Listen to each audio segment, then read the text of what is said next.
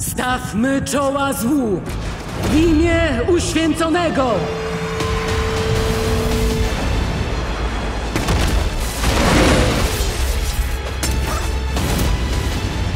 Błogosławiona niech będzie światłość!